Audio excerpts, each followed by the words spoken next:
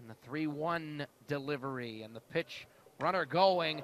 Fly ball well hit right field. This one's got a chance. It is going to be over and out. It just went over the Coors Light Mountain sign. He crushed that one. And that's another home run for J.T. Riddle. And he can touch them all. 3 nothing Cakes.